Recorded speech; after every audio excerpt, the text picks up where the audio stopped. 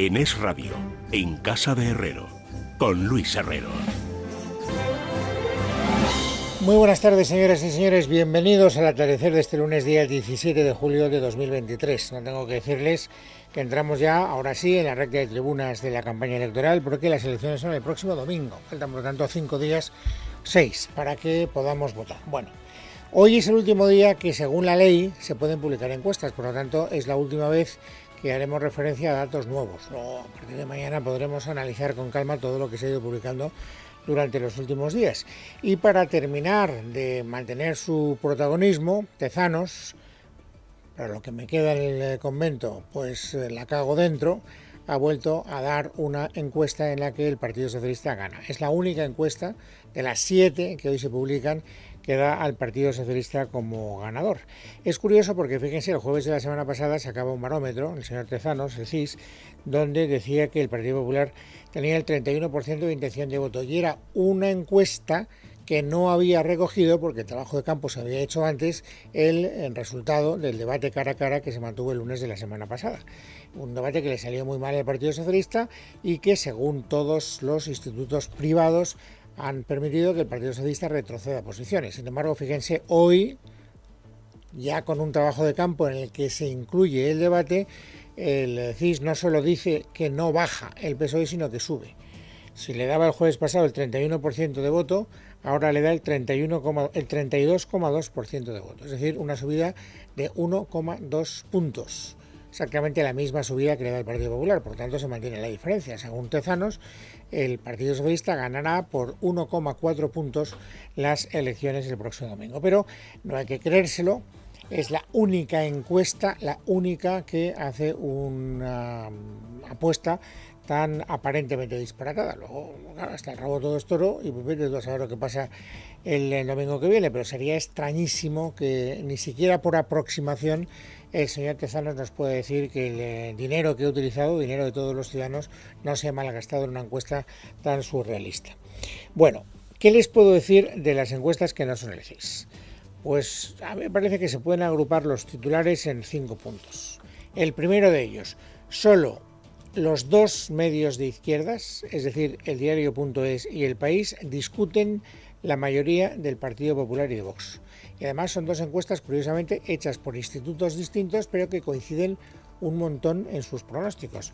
Las dos le dan al PSOE 110 escaños, las dos le dan a sumar 36 escaños y por lo tanto las dos dicen que el bloque de izquierdas va a sumar 146 y los, eh, por lo que respecta a las estimaciones del Partido Popular son también casi idénticas.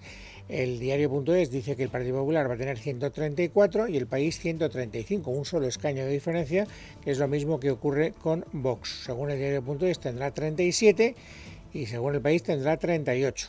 Pero las dos sitúan la suma del Partido Popular y de Vox por debajo de la mayoría absoluta. Ya saben ustedes, se lo saben de memoria, que la frontera de la mayoría absoluta está en los 176 escaños. Bueno, según el país, PP y Vox sumarán 173, según el diario.es 171, ninguno por lo tanto le da acceso a la mayoría absoluta. Ese es el primer titular que se podría hacer con las encuestas que hemos conocido hoy. Último día, insisto, en que podemos conocer datos demoscópicos. En las otras cuatro, segundo titular, la suma de Partido Popular y Vox oscila entre los 176 y los 181. Es decir, desde la mayoría absoluta raspada, que es la que le da el mundo, hasta los 181, que ya supone una mayoría absoluta holgada. Tercer titular, todos menos la encuesta del mundo, Sigma 2, dan tercero a Vox y cuarto a Sumar. El mundo es la única que invierte los términos de las dos últimas y da eh, tercera Sumar y, cuarta Vox. Por tanto, todas, menos una, dicen que Abascal quedará por delante de Yolanda Díaz. Cuarto titular. La que más escaños le da al Partido Popular es La Razón, 154, y la que más escaños le da al PSOE es la horquilla alta del diario.es que le da 114. Y con esto ¿A qué conclusión podemos llegar? Aparte de que naturalmente pues hay detalles de matiz. Pues se lo voy a adelantar, porque yo creo que ya podemos adelantarlo. La noche electoral, cuando hay un solo instituto demoscópico que hace israelitas, lo que se conoce como israelitas, aunque en realidad no son propiamente israelitas, porque no son encuestas a pie de urna, sino que se van actualizando los trackings, uno se puede fiar o no de ese pronóstico. Por ejemplo, en las últimas elecciones municipales y autonómicas fue GAT3 el que se llevó el concurso y el que emitió a las 8 de la tarde un pronóstico. Y ese pronóstico, al final, se confirmó como rotundamente acertado. Acertó en todo el señor Michavila. Pero ¿qué va a ocurrir esta vez? Que no se van a producir solo los vaticinios de GAT3, que en este caso concreto los hará en Telecinco, sino que además Sigma 2 será la encargada de facilitar el anticipo de los resultados electorales para las televisiones públicas, para televisión española.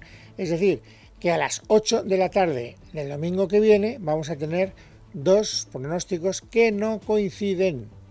Esto le va a dar más emoción, supongo, a la noche electoral. ¿En qué no coinciden? Es verdad que las dos le dan mayoría absoluta a la suma del Partido Popular y Vox, pero fíjense, Sigma 2 dice que tendrá 176, es decir, justo la mayoría absoluta. Cualquier variación a la baja ya le dejaría al Partido Popular y Vox sin mayoría absoluta. Y, eh, y esta es la principal diferencia, porque el, eh, el ABC, es decir, GAT3, lo que será Telecinco la noche electoral le da 180 y 180 pues ya es un cierto margen para que efectivamente la mayoría absoluta se pueda dar por casi segura. Bueno, nosotros decimos por casi segura porque somos prudentes. El señor Michavila, que es, como saben ustedes, la eminencia gris de GAT3, lo da como absolutamente seguro. Él dice que ya hay algunas cosas que sabemos seguro. Sabemos seguro participación elevada y sabemos seguro que la derecha, y pues Partido Popular y Vox, eh, tiene mayoría absoluta. Lo venimos viendo desde principio de año. Nos lo confirmaron los electores en la urna municipal en toda España. Eso mismo provocó eh, pues estas eh, elecciones adelantadas. ¿Y por qué va a tener un buen resultado el Partido Popular?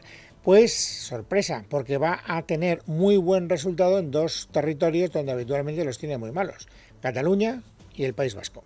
Y ahora mismo se pudieron unos resultados históricamente altos el Partido Popular en Cataluña pero es que Guipúzcoa, que era el sitio donde más difícil parecía para el Partido Popular, ahora no descartamos que pueda entrar el Partido Popular. Bien, esto quiere decir que existe alguna posibilidad de que en la noche electoral, en el último tramo, durante los últimos días de campaña, haya un achuchón hacia adelante del Partido Popular y pueda tener mayoría absoluta? Respuesta de Michavila, ninguna. Que pierda el Partido Popular toda esperanza de cosechar la mayoría absoluta que se olvide el PP de absoluta, ¿eh? que están hablando de mayoría absoluta. Yo le digo yo a Cuca Gamarra y Alberto Núñez Feijó que el PP no tiene absoluta. Cuando me preguntan eh, los periodistas, ¿no? Y no puede haber una sorpresa como en Andalucía con Juanma Moreno. Pues no, porque en Andalucía ni Esquerra Republicana, ni el PNV, ni Bildu se presenta. Bueno, por lo tanto, ¿a qué puede aspirar el Partido Popular? ¿Dónde está el techo del Partido Popular el día 23 de julio, según Micha Vila? Escuchen. La clave para el PP, si consigue llegar a los 160 y no es descartable, Sánchez no llega a septiembre como secretario general del Partido Socialista. Bueno, esto ya no es una predicción demoscópica, es una, prescripción política. Ya se ve que el señor Michavila ya saca sus propias conclusiones. Por cierto, no sé si he dicho, y si no lo he dicho, pido perdón, que eh, estos cortes, estos testimonios que han escuchado ustedes del señor Michavila eh, están sacados de una entrevista que ha mantenido en la cadena COPE. Ya saben ustedes que a mí siempre me gusta citar las fuentes. Bueno, naturalmente eh, el Partido Popular estará muy contento escuchando a Michavila. Bueno, a lo mejor no todo lo contento que querría estar, porque le hubiera gustado eh, que se abriera alguna posibilidad de que obtuviera la mayoría absoluta. Ya saben que es, el señor Feijó ha dicho que no es inalcanzable, que sueña con ella, que la roza con las yemas de los dedos. En fin, según Michavila, pues yo creo que se está pasando de frenada y está colocando la expectativa demasiado alta, pero ya él. En todo caso, Sánchez, el presidente del gobierno, el candidato del PSOE, prefiere creerse la encuesta del CIS, que es, como les he dicho al principio, la única que contempla el pronóstico de victoria socialista. Sánchez se lo cree a pies juntillas. Yo creo que estamos en una remontada, que el Partido Socialista va a ganar las elecciones, que el Partido Popular las va a perder, y las va a perder por dos motivos. Uno, porque no ha parado de mentir durante toda esta campaña, de obstruir durante estos últimos cuatro años eh, en una legislatura inédita, con una pandemia y ahora con una guerra, y eh, las va a perder porque la alternativa es un gobierno del señor Feijóo con el señor Abascal. Por lo tanto, tiene claro, uno, que va a ganar, y dos, que va a gobernar con Sumar. Ya les digo a los eh, españoles y españolas que si puedo, gobernaré con el partido de Yolanda Díaz. Y sé también, a ciencia cierta, de que el Partido Popular no se va a abstener. Bueno, pues para que estos dos pronósticos se conviertan en realidad, hace falta que Sánchez haga una campaña más intensa de lo que hasta ahora está venido haciendo, porque son ustedes que emiten muy poquitos. Y la verdad es que ha mantenido un perfil más bien eh, bajo durante la primera semana. Pero todo va a cambiar a partir de ahora. Rubén Fernández el PSOE ha cambiado de estrategia y ha decidido incluir una cascada de mitines que obligarán a Pedro Sánchez a alterar su agenda comunitaria. Hoy está en la cumbre Unión Europea, países de América Latina y el Caribe. Se ausentará durante la cena de gala para ir a Huesca a dar un mitin y vuelta porque volverá a la capital belga para continuar mañana con la cumbre, lo que hasta hace unos días era imposible cambiar la agenda comunitaria, ahora resulta que es viable. No puedo estar dos días solamente en Bruselas a cinco días del final de la campaña. Yo creo que, el Partido Socialista está remontando. Además, han incluido otro meeting mañana en San Sebastián y otro en Lugo el jueves. Dicen en Ferraz que han dado este acelerón, así lo denominan, porque en estas provincias se juega mucho y está todo abierto y no descartan más actos donde haya, dicen, batallas por escaños. En total, Juan Pablo Sánchez quiere hacer la misma cantidad de mítines en cinco días que los que ha hecho en los últimos diez, es decir, en todo lo que llevamos de campaña. Bueno, hay que ver el señor Sánchez en Huesca o en Lugo o en San Sebastián, lo mismo que he venido diciendo en los pocos actos que hasta ahora ha protagonizado. Saben ustedes que eh, la estrategia del Partido Socialista, el argumentario del PSOE, se reduce básicamente a decir, ojo, ojo, ojo, que el Partido Popular gobernará con Vox. Y por lo tanto, eh, todos aquellos que no queramos retroceder a una época tenebrosa demos eh, pasos hacia atrás, etcétera, tenemos que ponernos las pilas y evitar que eso suceda, que es exactamente el mismo discurso que está haciendo Yolanda Díaz. Hoy Yolanda Díaz ha estado en la cadena SER. ¿Y qué ha dicho? Pues eso, exactamente eso. Lo que van a hacer ya lo conocemos se llaman recortes, se llama eh, tener cifras de paro como hemos tenido en España con el PP y, políticas que condenan eh, a la mayoría social. Por tanto, eh, salgamos a ganar un país mejor y también pido que voten a sumar para que echemos a Vox a la oposición. Bueno, este es el único argumentario, por lo menos la idea fuerza que han utilizado el Partido Socialista y Sumar con más reiteración durante esta campaña. Pero es verdad que Sumar, de un tiempo a esta parte, ha eh, concentrado su crítica sobre todo en una persona, en la persona de Alberto Núñez Feijóo.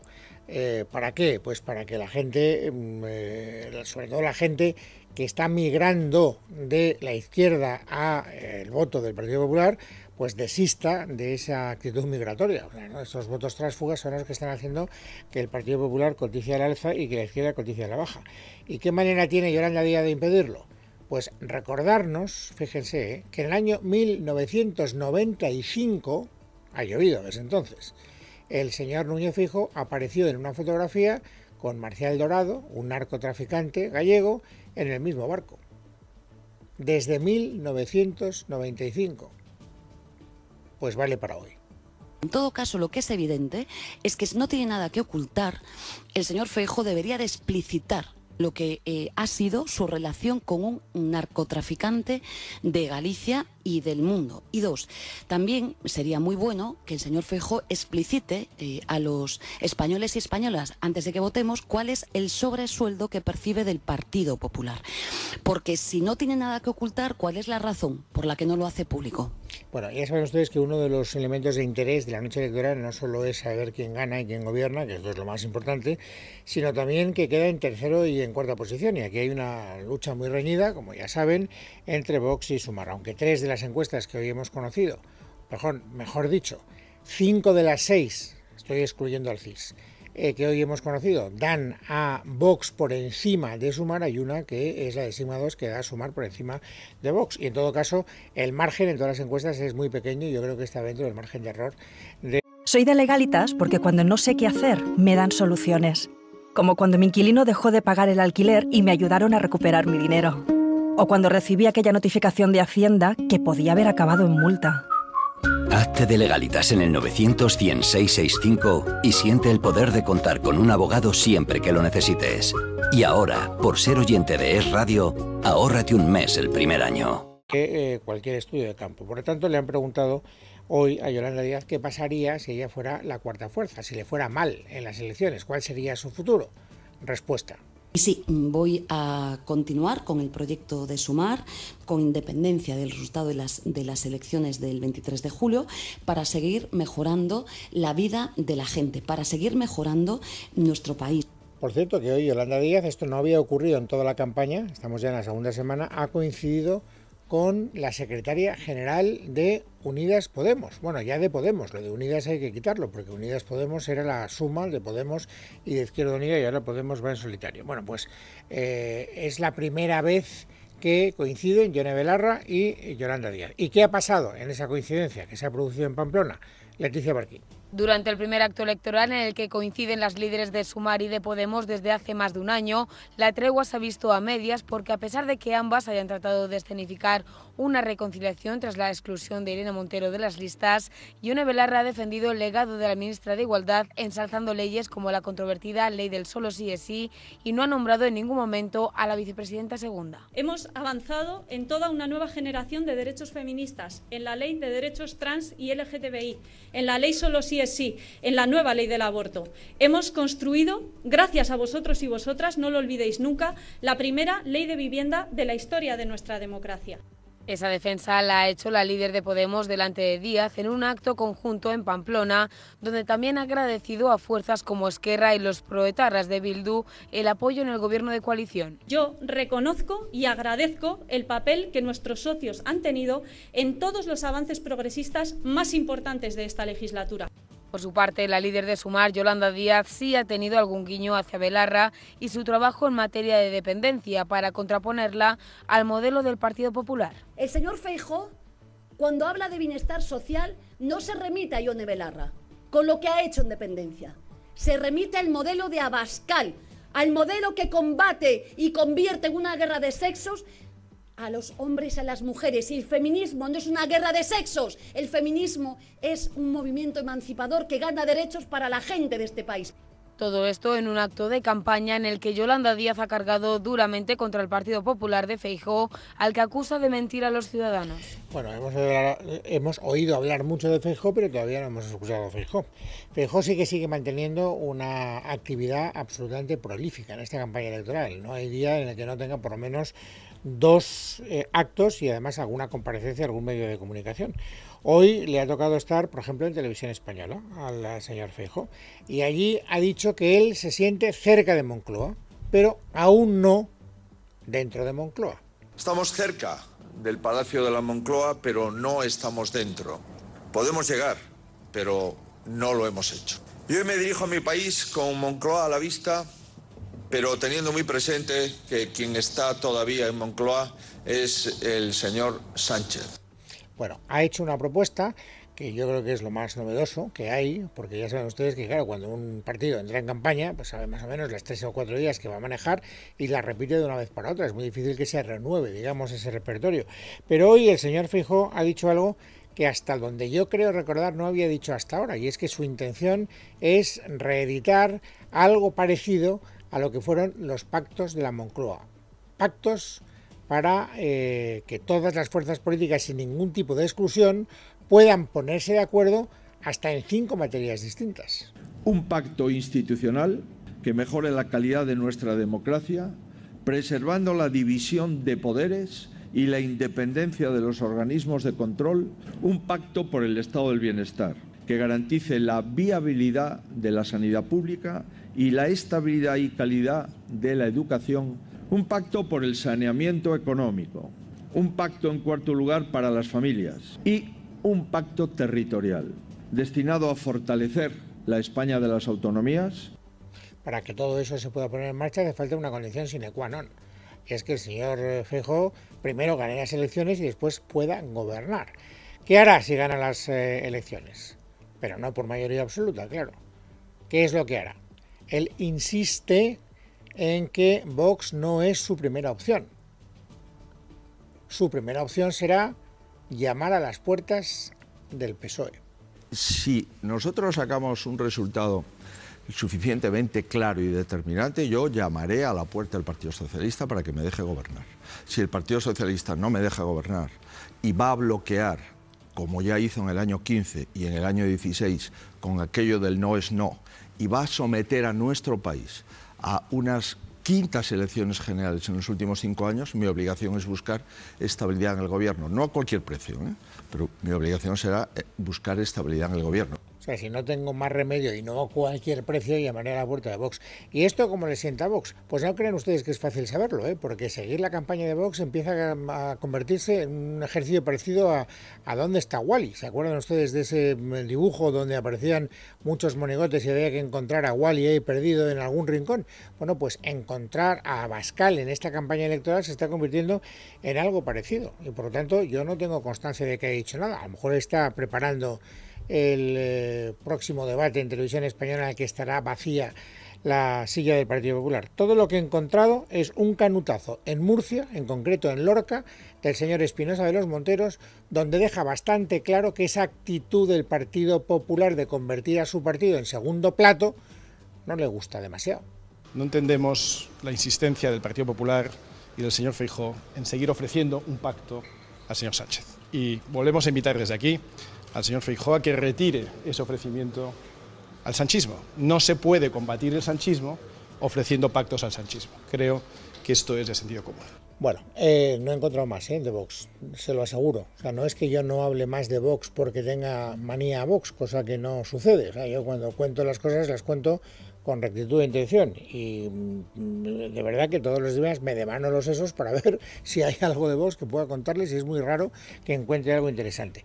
Y luego, por acabar esta crónica de lo que ha hecho el señor Feijó durante el día de hoy, les decía que había estado en televisión española y la verdad es que ahí se ha producido un momento interesante. Saben que Feijó lleva diciendo desde el famoso debate del lunes pasado en el cara a cara con el señor Sánchez que su partido y él también, como miembro de su partido, siempre han votado a favor de la revalorización de las pensiones por encima del IPC.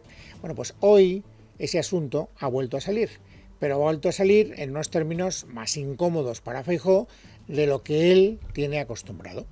Nuestro partido nunca dejó de revalorizar las pensiones conforme al IPC. El único partido que congeló las pensiones fue el Partido Socialista Obrero Español. Por cierto, el señor Sánchez era diputado en la Cámara. No es correcto, señor Feijóo.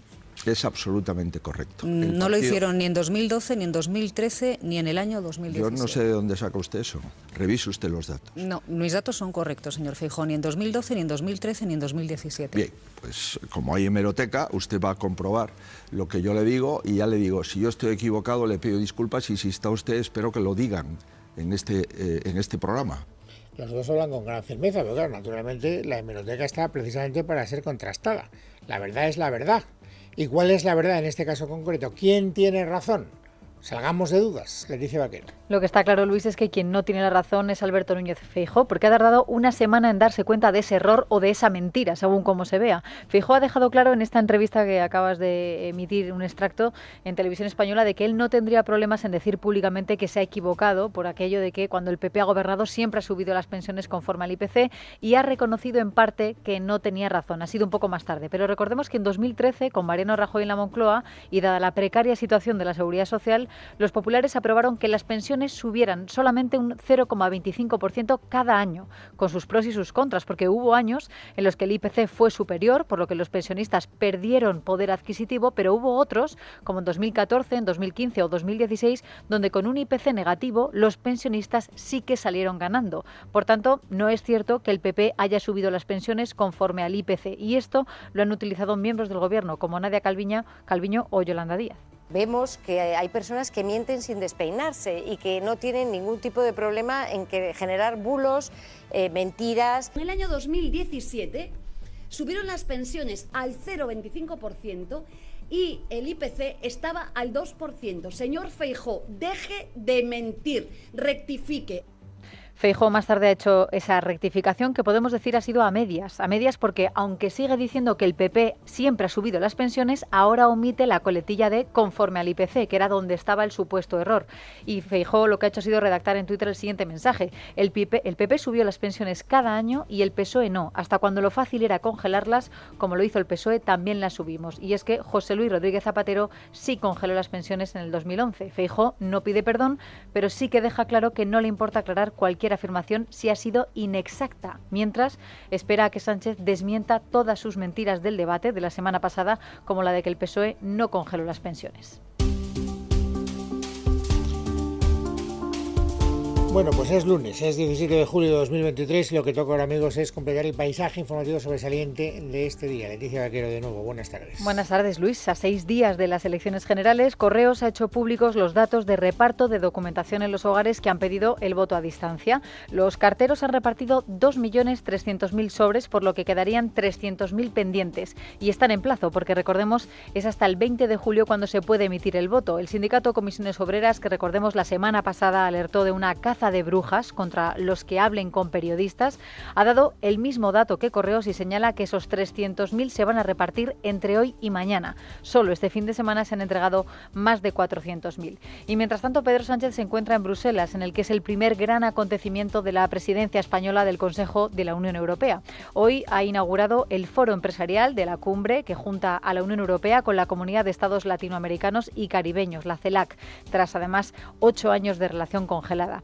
Los jefes de Estado y de Gobierno, en total 61, se van a reunir para buscar una mayor cooperación entre las regiones a pesar de las divergencias políticas. A este foro está invitado el mandatario cubano Miguel Díaz Canel, que ha llegado a Bruselas con un tono conciliador, a pesar de que el Parlamento Europeo aprobó el miércoles pasado una resolución condenando las violaciones y los abusos de derechos constantes en Cuba y de que haya pedido también sanciones contra Díaz Canel. A la cumbre van a asistir también los presidentes de Brasil, Lula da Silva, de Colombia, Gustavo Petro o de Chile, entre otros. A pesar del papel activo de España, Sánchez se va a ausentar esta noche porque, como nos ha contado Rubén Fernández, va a acudir a un mitin electoral del PSOE en Huesca y así lo ha justificado vaya a estar presente en todos los, actos formales, eh, también los informales. En fin, todos los líderes entienden perfectamente que estamos a cinco días de las elecciones generales y que, por tanto, bueno, pues voy a hacer este sobreesfuerzo de ir a Huesca, de volver de madrugada y mañana estar aquí de nuevo con todos los líderes latinoamericanos y también europeos. Y más asuntos. La Comunidad Valenciana ya tiene nuevo presidente. El popular Carlos Mazón ha tomado posesión esta mañana en las Cortes y tras jurar el cargo se ha enorgullecido del cambio que merecían los valencianos. Hoy puedo jurar el cargo de presidente de la Generalitat Valenciana porque hemos elegido la esperanza sobre el temor, la unidad de propósitos sobre el conflicto o la discordia. Porque apostamos por la certeza sobre las tinieblas de la incertidumbre lo mejor de la historia de la comunidad valenciana aún está por llegar y estoy seguro que juntos escribiremos en los próximos años algunas de las mejores páginas de la historia. Junto a él ha estado la presidenta de la Comunidad de Madrid, Isabel Díaz Ayuso, quien ha saludado esta nueva etapa en la comunidad, ocho años después de un gobierno socialista, y ha avanzado que augura una buena sintonía entre los gobiernos para revitalizar el eje Madrid-Valencia. También estaban presentes la secretaria general nacional del PP, Cuca Gamarra, y Jorge Azcón, el líder del Partido Popular en Aragón. Y hasta ahora seguimos también pendientes de cómo evoluciona el incendio que afecta a la isla de La Palma, que ha calcinado, se calcula, 3.500 hectáreas y ha hecho que todavía haya 78 personas fuera de sus viviendas que han sido desalojadas. El Ejército del Aire y del Espacio, así como la UME, siguen trabajando en la extinción ya que se mantienen activos tres frentes, ante la, aunque la situación hoy sí que parece un poco más favorable. Rocío Herraiz, ¿qué tal? Buenas tardes. Buenas tardes. Inquieta especialmente que las llamas afecten al Parque Nacional de la Caldera de Taburiente, donde los efectivos están teniendo graves problemas para actuar debido al difícil acceso por tierra y a la nubosidad a la que se enfrentan los 10 medios aéreos que intervienen en la operación. En cuanto a los focos en Cruz del Llano y el Reventón, el consejero de Política Territorial del Gobierno de Canarias, Manuel Miranda, ha aclarado que evolucionan de forma favorable, aunque todavía no se pueden dar por extintos. Aún se desconoce el origen del fuego, que ya ha afectado a más de 4.000 hectáreas y ha obligado a desalojar dos municipios, aunque la Guardia Civil apunta como principal hipótesis a un descuido humano. Sin embargo, el presidente del Cabildo de La Palma, Sergio Rodríguez, llama a la prudencia en las acusaciones. Bueno, a mí me preguntaron si sabía algo, lo que llamé es a la prudencia porque hay una investigación abierta y que no sabemos exactamente por lo que es. Eso eh, lo del descuido lo dice la gente, hay un vídeo circulando por ahí. Nosotros lo que decimos es que esto está en manos de quien tiene que estar y que tenemos que ser respetuosos con eso. Asimismo, el presidente del Cabildo ha recalcado que, aunque es complicado prever lo que va a suceder, las condiciones meteorológicas están facilitando la extinción del fuego y se espera que hoy vuelvan a sus hogares 116 personas que habían sido desalojadas. Y terminamos contándoles que SEAT va a invertir 300 millones de euros en la construcción de una planta de ensamblaje de celdas de baterías en Martorell, en Barcelona. Su presidente, Wayne Griffiths, ha explicado que esta nueva instalación supone un impulso a sus planes de tener una segunda plataforma en la localidad y que va a ser fundamental para la compañía. Y para seguir avanzando en nuestra ambición de convertir España en un hub de movilidad eléctrica en Europa. De hecho, SEAT va a generar 400 empleos directos y otros 100 indirectos. La empresa confía en recibir un porcentaje importante de la inversión en ayudas del Gobierno tras la recepción de la primera fase de los PERTES. En Casa de Herrero, con Luis Herrero. Es Radio.